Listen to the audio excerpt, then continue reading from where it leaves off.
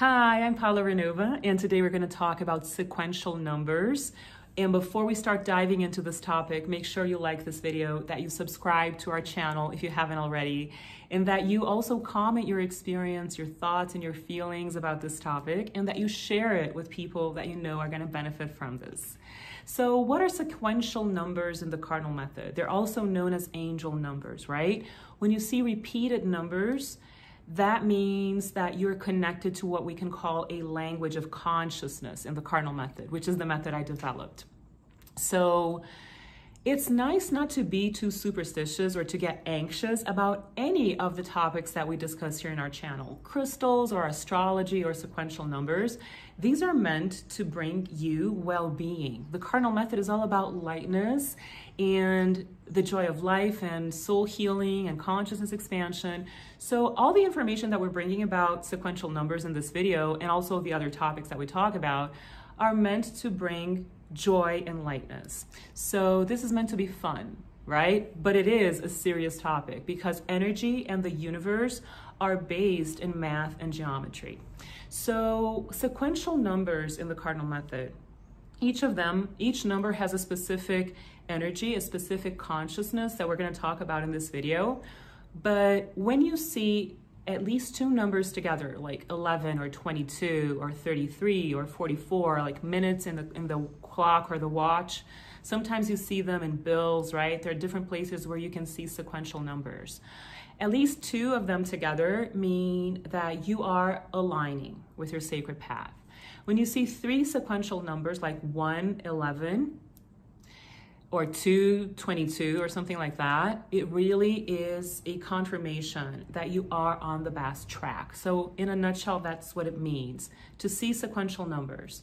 You are on the right track.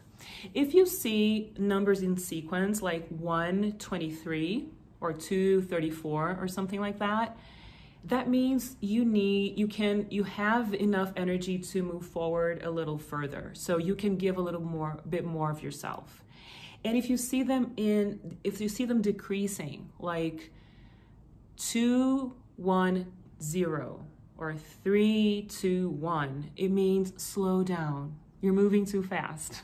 Okay? So it's just a little language of consciousness that I call these consciousness reminders in the cardinal method.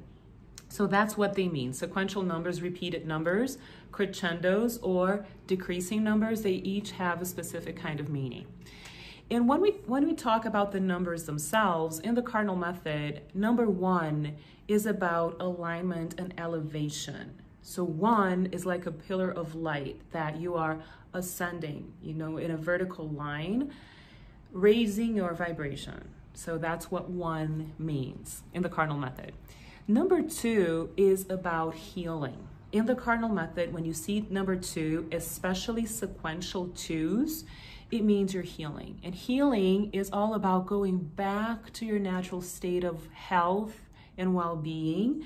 It could be physical, it could be emotional, it could be mental, it could be financial, your relationships. You know where you need healing, right? So, two is always telling you healing is here.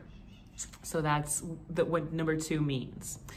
When you think about number three in the cardinal method, it's about balance. We talked about slowing down because we're moving too fast or you know you can give a little more you can go move forward a little faster so balance is three right divine proportion we use this concept a lot in the cardinal method so three is about balance Four is about structure. It's about building your foundations. It means the universe is saying, yes, you're creating structure for yourself. Sequential fours mean this is grounded, this is solid, this is centered.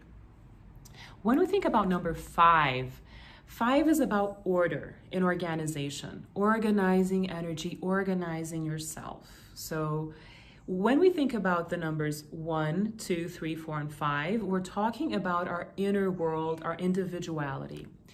When we travel up to number six, from six to nine, that's external world energy. So it's you in relationship to the outside world.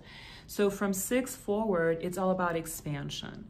So number six is harmony in all relationships, right? If you think of three, three and three are six. So two people, two balanced people in harmony. So six is about harmony in all your relationships. It doesn't necessarily mean just with people. It could be with objects or places or energies, anything, any kind of relationship. So that's what six is all about. When we think about number seven, seven is about awakening consciousness in the cardinal method. When I say consciousness, I'm talking about spirituality and spirit. So it's about awakening your mind, connecting your mind to spirituality. It's spiritual awareness, it's spiritual consciousness, okay? Spiritual awakening. Seven is a spiritual number. Number eight, and if you think of eight graphically, right, visually, it's a vertical infinity symbol. So as above, so below, right? Um, the, the infinite abundance of the universe, of the sky, of spirit manifesting in the physical world, in matter. So eight is about abundance. When you see 808 in your watch or clock, that means you're aligned with abundance. Sequential eights anywhere, right? The more the merrier. And when we talk about nine, nine is about spirituality, but it's beyond seven because seven is your spiritual awakening. It's your connection with spirit. Nine is the awareness that you have so much within yourself, you have so much to give that you can be of service to others and to the world. So it's about sharing and being of service spiritually.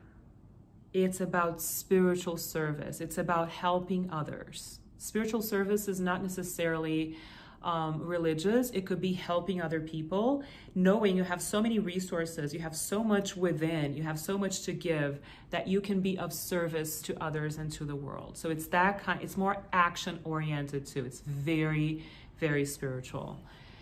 And the last one that I want to mention here is zero, right? Zero is about depth.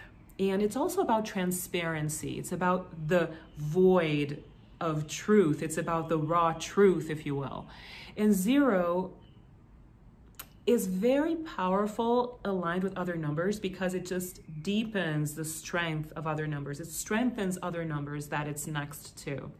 So it's about depth, it's about truth, it's about transparency, and also boosting the other numbers that it's next to. So one is the pillar of light, zero is like the void of creation and from where all creation has sprouted from, right?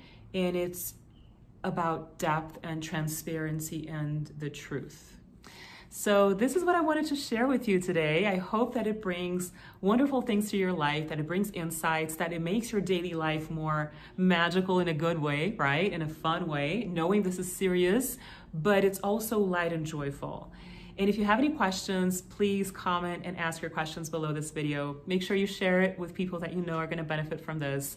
And I would love to know what you're thinking, so don't forget to comment. Thank you so much for being here, and I will see you soon.